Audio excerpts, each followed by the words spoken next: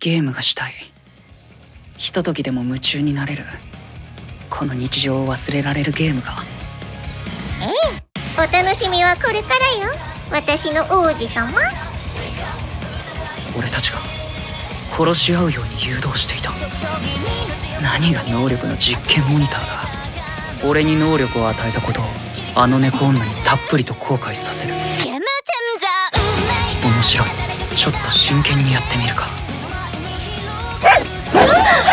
たまたまとか偶然とか聞きたくない。何もかも。もううんざりだ。対戦が始まったらすぐに降参しろ。なぜあの男を殺した？お楽しみはこれからよ。ゲームがしたい。退屈な日常を忘れられるゲームを